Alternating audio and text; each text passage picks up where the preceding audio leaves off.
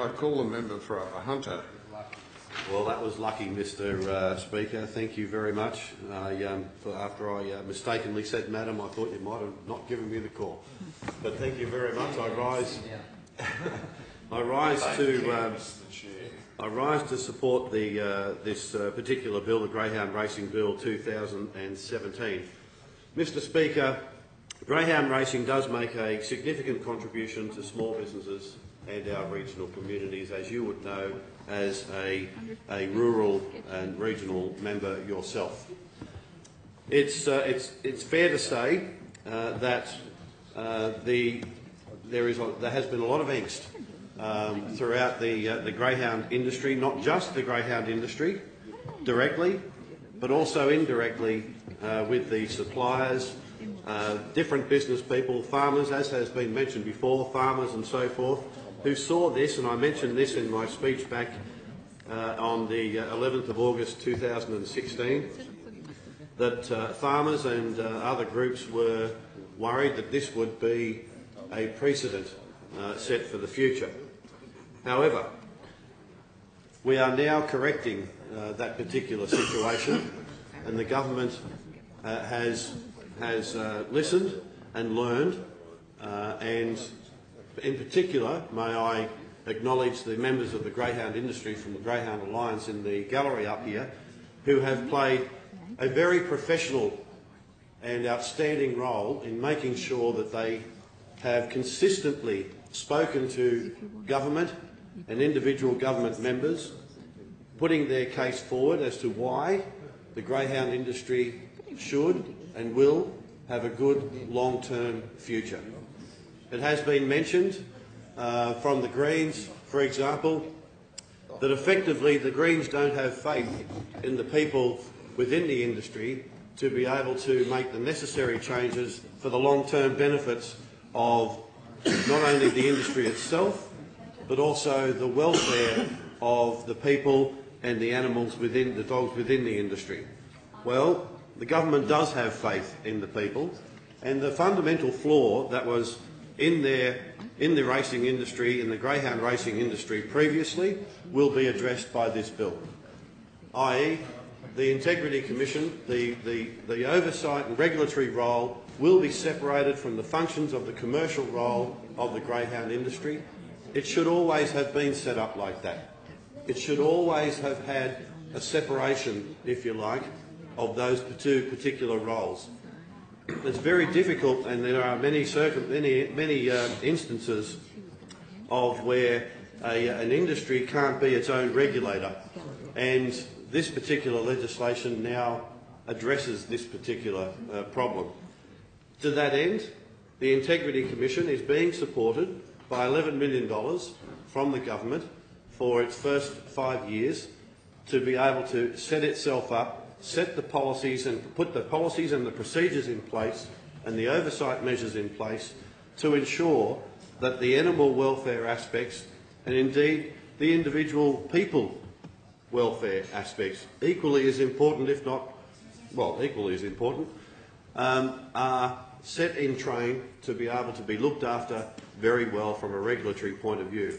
In addition to that, the industry will have a commercial arm which will drive the viability, the, the short, medium and long-term viability in particular of the greyhound industry and the participants in that industry.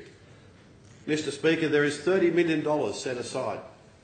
Of the 41 million in this package, there is $30 million set aside for the greyhound industry, which is essentially for track improvements and facility improvements based on animal welfare issues. So, for example, if you have particular tracks that have a bad camber or need upgrading for the rails or whatever the case may be where the dogs may race, um, then if we can, if that can be identified by the industry that it needs to be improved for the animal welfare uh, uh, benefit, and of course the, the participants within the industry, then they then will apply to be able to get some funds from that $30 million to be able to upgrade those tracks.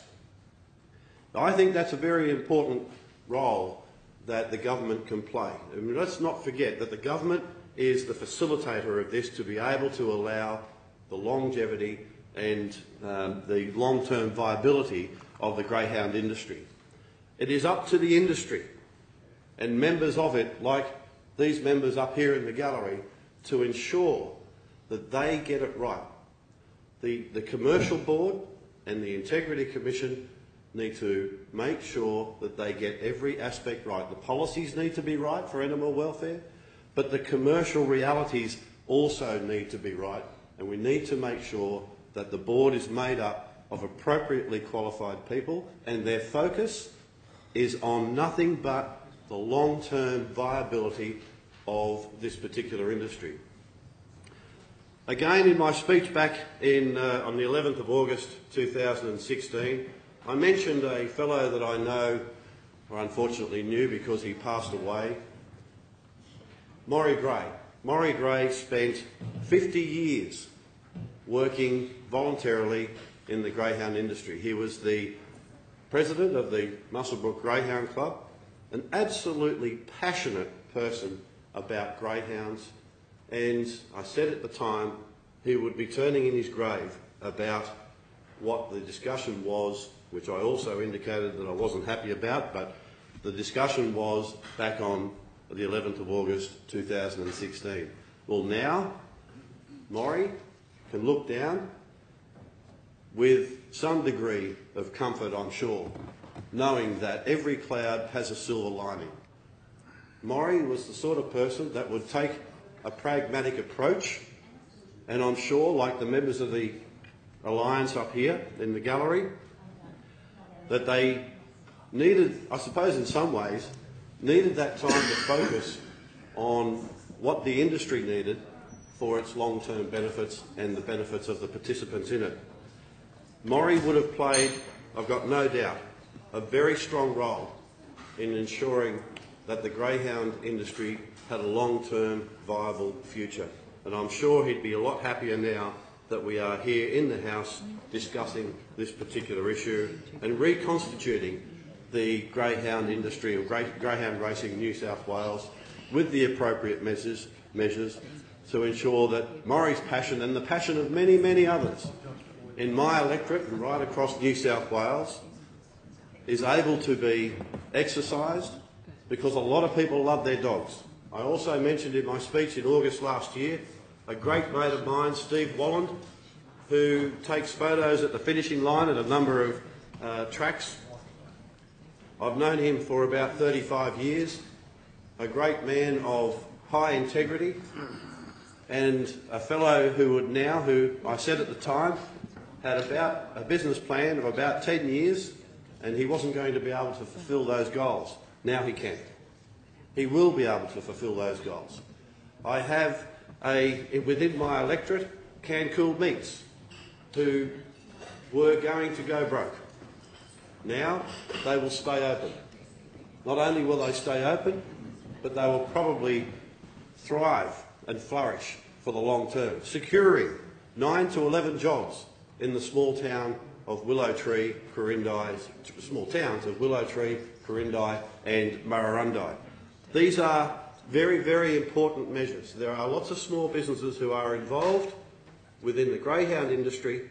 There are lots of people, so many people, who are absolutely passionate about their dogs, the dog's welfare, and ensuring that they can follow through on their passion for racing. There is nothing wrong with it whatsoever. The Greens are totally off the mark if they think that this is somehow a capitulation to uh, integrity within the industry. This is not. This is an improvement to the industry. This is an improvement to ensure that the long-term viability of the industry is assured by making sure that the Integrity Commission is separated from the commercial functions of the industry with the right people on those particular boards.